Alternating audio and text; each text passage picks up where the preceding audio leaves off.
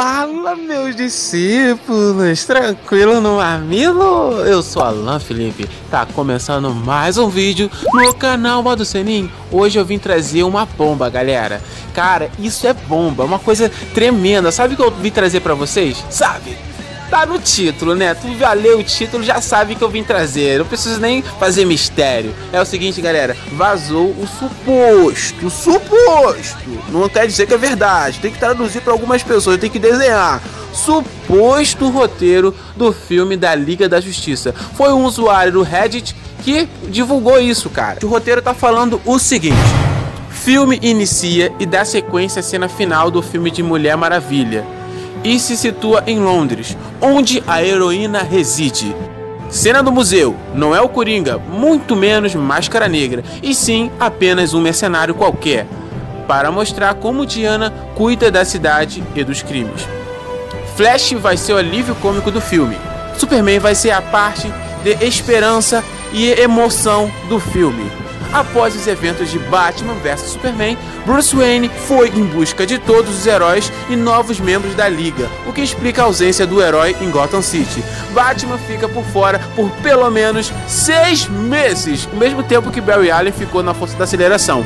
Enquanto o morcego está fora da cidade, Gotham City vira uma bagunça. A cidade tem um novo vigilante, mas ele não tem o mesmo peso e experiência do Batman.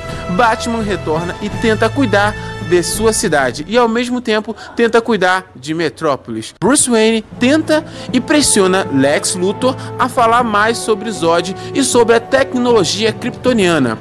Porém, o vilão já em Arkham se nega a ajudar o Bruce e ele vai embora e logo mais consegue fugir de Arkham. Bruce Wayne consegue algumas pistas e soluções e se comunica com Kara Zoel, a Supergirl, em forma de holograma. Ela revela ao Wayne como ele pode reviver seu primo e fala mais sobre a tecnologia kryptoniana.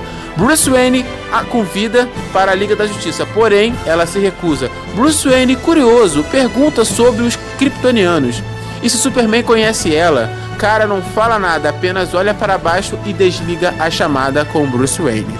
Supergirl está com uma suposta armadura de combate, um visual novo, inédito e jamais visto nas HQs. Bruce Wayne de alguma forma consegue reviver o Superman, porém o Homem de Aço não responde de imediato, deixando Bruce Wayne frustrado e ainda mais preocupado.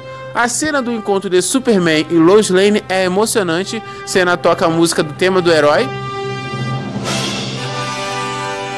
Superman vai visitar sua mãe e a cena também é muito emocionante. Marta está mexendo com roupas no varal, o herói aparece de surpresa auxiliando a sua mãe a tirar as roupas. O herói tira justamente uma toalha de mesa vermelha que remete e faz referência ao seu filme de 2013. A cena é impactante e emocionante. Superman retorna de traje preto e não será como vilão.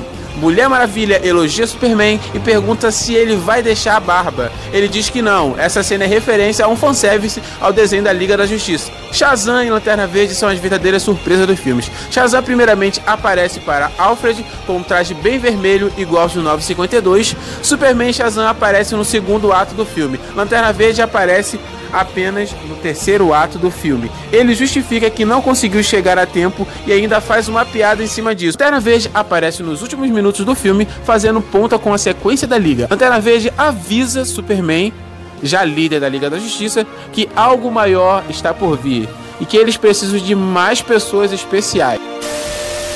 Bem, galera, esse é o roteiro de Liga da Justiça, não só o roteiro, parece que é o filme inteiro. Eu não sei se isso é verdade, como eu disse, é suposto roteiro, mas é que entrega muita teoria. Muita gente falava que ia vir um Lanterna Verde nesse filme, mas parece que não é só o Lanterna Verde. E também o Shazam. Naquela cena com o Alfred, quem aparece é o Shazam. Aquele relevo vermelho é nada mais, nada menos que o uniforme do Shazam. Ele não usa a capa dos dois lados. Olha só nessa outra imagem que você vê que ele bota a capa de um lado e o outro lado mostra o uniforme dele que é vermelho. Então aquilo ali é o uniforme vermelho do Shazam, que comprova a teoria do canal General Nerd. Esse canal ele foi a única pessoa que falou essa teoria de ser o Shazam. Ele apresentou essa teoria, ele nem me conhece, nem sabe que eu existo, mas ele foi o único canal que falou isso. Bem, galera, esse foi o vídeo. Eu quero a opinião de vocês aqui nos comentários e quero que vocês também passem no site parceiro do canal Jerimum Geek. Lá tem notícias de animes, filmes e séries. O link tá na descrição. Valeu, galera! E agora é hora do salve. Se quiser, hashtag salve no próximo vídeo. Salve para Biel TV que foi o primeiro. Luiz Felipe Reviews, RP Animes, Maicon Silva, MSP Android, Clayton, Max Leo, Leudo, Você Acredita, Murray Game, Marreta Preta, Capitão América e finalizando Maicon Mike.